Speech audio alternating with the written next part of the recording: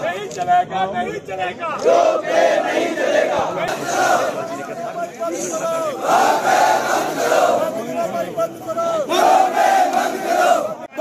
चरण बागता को बाईपास करके नया कटरा बसारा जा रहा है, जा रहा है श्राइन बोर्ड हम चाहते हैं श्राइन बोर्ड को चेतावनी देना चाहते हैं कि अगर ये वैष्णो देवी ट्रैक के साथ थोड़ा सा भी खिलाड़ करते हैं तो हम इनको बिल्कुल बर्दाश्त नहीं करेंगे। हज़ारों लोग वैष्णो देवी ट्रैक के साथ जुड़े हैं। वहाँ पंद्रह सौ दुकान है, बारह हज़ार दो सौ आदमी, गोला पिट्ठू वाला गरीब आदमी वहाँ काम करता है। हम श्राइन बोर्ड को मनोरंजन देने जा रहे हैं। अगर श्राइन बोर्ड हमारी बात नहीं सुनता तो हम श्राइन बोर्ड की ईद से ईद बुझा देंगे हमारा जो प्रदर्शन है वैष्णो देवी ट्रैक पंचायत पुराना दूर से मैं पंच हूँ उस पंचायत का जहाँ से माता रानी भी वैष्णो देवी गई थी और मैं वहाँ से हमने जुलूस निकाला इसलिए श्राइन बोर्ड दफ्तर के बाहर जाएँगे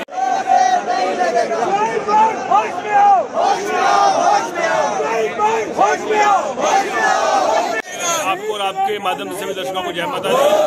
आप जानते होंगे कि कुछ दिन पहले माननीय एल जी मनोज उन्होंने बोला कि ताराकोट से यात्रा की सूरत के लिए रोप वे लग रहा है। तो कहीं ना कहीं ज़रूरी पब्लिक और कटरा की पब्लिक को लगा कि उनका व्यापार उससे खत्म हो जाएगा। उनका मानना था कि रोप वे अगर लगे तो बाल गंगा से आगे लगे या फिर ना लगे।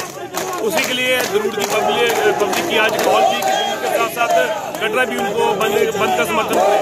की पब्लिक और कटरा की पब्लिक का आह्वान कि कटरा बंद रहे उसी के लिए सब, जैसे कल शाइन बोर्ड के सीईओ अंशु गर्ग जी ने पहल करते हुए प्रेस कॉन्फ्रेंस में कहा कि कटरा की पब्लिक उनके आगे, उनसे आगे बात कर सकती है। तो आज उसी के लिए ज़रूर की पब्लिक का पूरा समर्थन साथ में है।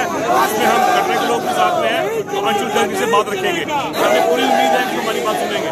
जैसे माननीय एल ने खुद माता के भवन से बोला था कि कटरा में जो भी डेवलपमेंट ट्रैक आएगा, उससे कटरा की पब्लिक से बात करके ही विश्वास है। माननीय एल जी हमारी बात सुनेंगे और वही आगे काम किया जाएगा। मेरे कहने से तो कुछ नहीं होगा, लेकिन बता दो लेकिन डेवलपमेंट का काम है, उसको आप रोक नहीं सकते।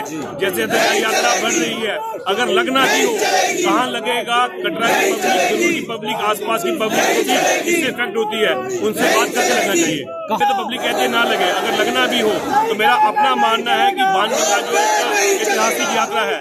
बाणगंगा लोग वो जल अपने घर में लेके जाते हैं और कितने श्रद्धालु वहाँ से स्नान करके अपनी यात्रा शुरू करते हैं।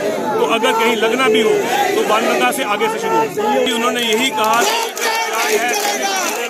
पहली प्रायोरिटी इनको दी गई कहीं ना कहीं उनका कहना तो ठीक है, लेकिन अगर कहीं पे घोड़े वाले पिट्ठू वाले पालकी वाले ध्रुव की पब्लिक और कटरा की पब्लिक कहीं में उनमें रोष है या कहीं में उनमें डर का भय है कि इनका व्यापार खत्म हो सकता है। तो क्या लगता है खत्म हो सकता है? बिल्कुल जी इसलिए हम चाहते हैं कि जैसे माननीय एलजी ने कहा है कि कटरा की पब्लिक से बात कर काम शुरू किया जाएगा।